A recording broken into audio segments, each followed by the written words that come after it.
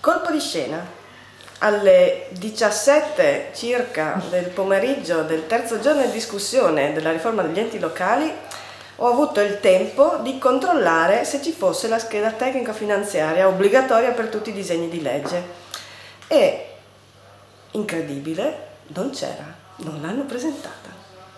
E allora ho dovuto interrompere la sezione, sì, l'aula, e ho chiesto di verificare come mai non fosse stata presentata.